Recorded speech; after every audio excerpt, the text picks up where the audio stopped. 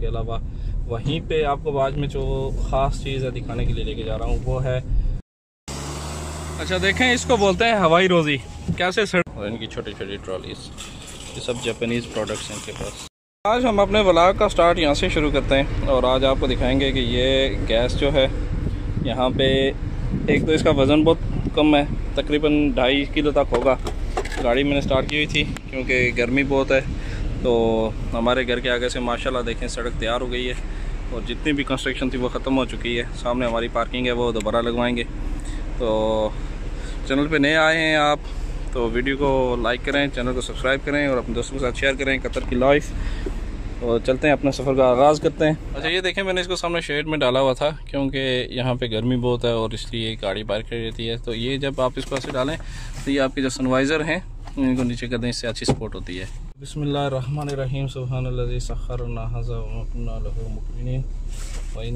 रबीना तो आज मैं आपको लेके जा रहा हूँ हयात प्लाजा में। यहाँ पे अच्छी एक मॉल है। वहाँ पे मुख्तलिफ़ तरह की दुकानें हैं सुपर मार्केट्स हैं।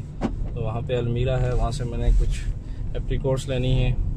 और उसके अलावा वहीं पे आपको आज में जो ख़ास चीज़ है दिखाने के लिए लेके जा रहा हूँ, वो है डाइसो जापान की एक कंपनी है जो वहाँ पे हर चीज़ जो है वो जापानीज़ इंपोर्ट होके आ रही है वहाँ से और वो चीज़ें वहाँ पे सेल होती हैं।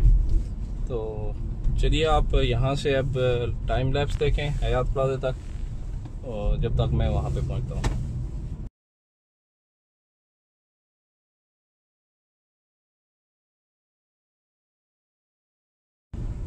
फाइनली जी हम पहुँच गए हयात प्लाजा में और 12 मिनट लगे हैं जो आपको 22 से 23 सेकंड में जो वीडियो नज़र आई है।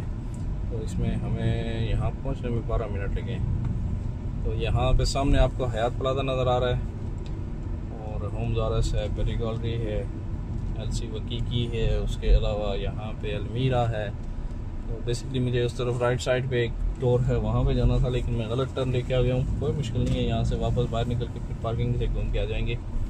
अच्छा मैं अंदर आ गया हूँ, लेकिन सुबह आने का एक फ़ायदा होता है कि पूरी मार्केट जो है आपको फ्री मिलेगी। इस वक्त यहाँ पे देख लें रेस्टोरेंट्स बंद हैं, कोई भी नहीं है, और ये होम जारस है। यहाँ से मैं अंदर जाऊँगा एलिवेटर से ऊपर, वहाँ पे ढाई सौ है। अब ये सामने आपको ढाई सौ नज़र आ रहा है ढाई सौ जापान और इनकी छोटी छोटी ट्रॉलीज ये सब जापानीज़ प्रोडक्ट्स हैं इनके पास।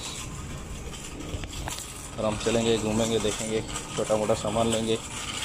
और ये दिखाने का मकसद आपको ये है कि क्योंकि मैं अगले चंद दिनों में जा रहा हूँ छुट्टी तो बच्चों के लिए छोटी छोटी चीज़ें यहाँ से अच्छी मिलती हैं, मुनासिब मिलती हैं और जापानीज़ प्रोडक्ट का तो आपको पता है, अच्छी होती हैं, मज़बूत होती हैं। ये मैं अभी बलून सेक्शन में आया हूँ और देखने आपको पूरे जैसे बलून की जन्नत होगी यहाँ पे।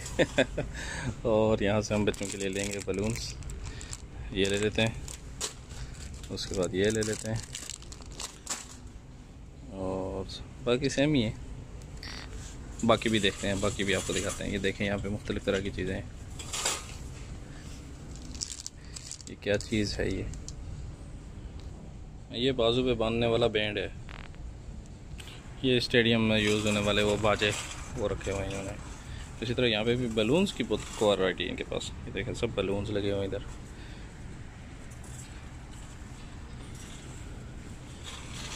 यहाँ पे टॉयज़ हैं बच्चों के। अच्छा ये जो है, ये बच्चों के लिए वो I Q puzzle ring ring है इसके साथ और पज़ल बना हुआ है। वैसे ये बच्चों के लिए अच्छी है। ये ले लेते हैं। बच्चों के खेलने का बंदोबस्त। ये भी पज़ल गेम ही है। ये भी ले लेते हैं। बच्चे क्या याद करेंगे? जब मैं इस तरफ़ आया था तो यहाँ पे सब इनकी टूल्स की कलेक्शन इस तरफ़ लगी हुई है। अब ये देखें, ये इस तरफ़ जितना भी है, सब ये मोटरसाइकिल और गाड़ियों के अंतल का सामान, साइकिल के लिए। ये इस तरफ़ इनके पास इतनी बड़ी वैरायटी लगी हुई है इस तरफ़ भी। इस तरफ़ पिल्लू लगे हुए हैं। बाकी तरफ़ दिखाते हैं आपको।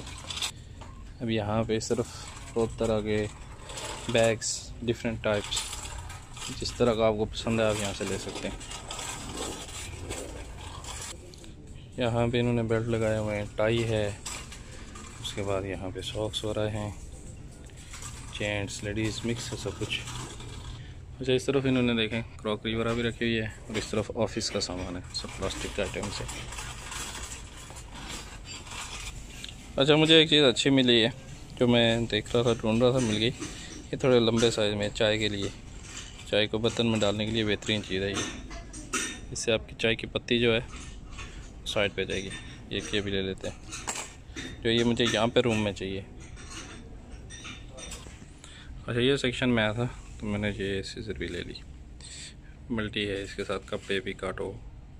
उसके बाद यहाँ पे देखें बॉटल भी खोल सकते हैं। नट्स भी खोल सकते हैं इसके साथ। अच्छी है। वो मैं इस सेक्शन में आया था, यहाँ से मैंने ये लिया। इंक पेन तो जी, यहाँ से ख़त्म हो गई मेरी शॉपिंग। अभी चलते हैं काउंटर पे पेमेंट करते हैं, फिर बाहर निकलते हैं। शॉपिंग हो गई जी हमारी। यहाँ से हम एलिवेटर पे जाएँगे नीचे। नीचे आपको होम ज़ारस पूरी मार्केट नज़र आ रही है। और यहाँ से हम जाएँगे इस तरफ़।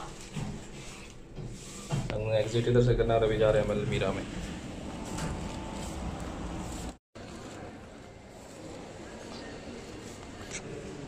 यहाँ पे बैग जमा करा के नंबर ले लिए अभी अंदर जा रहे हैं।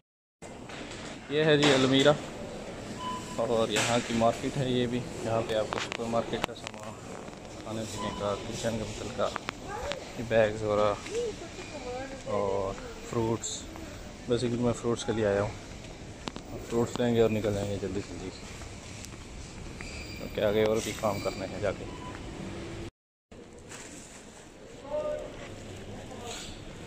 शॉपिंग हो गई जी हमारी। ढाई सौ का भी हो गया, फ्रूट्स भी हो गए। अभी वापस जा रहे हैं बाहर गाड़ी के पास। और अंदर अंदर से, क्योंकि बाहर से बहुत गर्मी है, तूफ़ानी गर्मी और बाहर की जो गर्मी है, वो तूफ़ानी है, इसलिए जो है ना, अंदर ऐसी लगे हुए हैं। सीज़न, आप माहौल देख लें, छत देख लें, यहाँ पे इस तरह की लगी हुई है। गुड बाय बोलेंगे जी, हयात बलादा को, ढाई सौ को, अलमीरा को, और अभी हम बिस्मिल्लाह करेंगे और ये सामने आपको गाड़ी नज़र आ रही है गैस की। और इसी से रोकते हैं और इसी से हम गैस देते हैं। ये यहाँ पे ऐसे घूम के सेल कर रहे होते हैं गैस वाले। तो इसको देते हैं आयरन वाला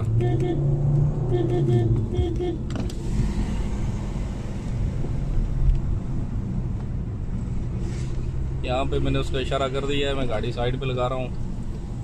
तो इसी से लेंगे हम गैस। इसमें रखो। कितना? पंद्रह रियाल का है?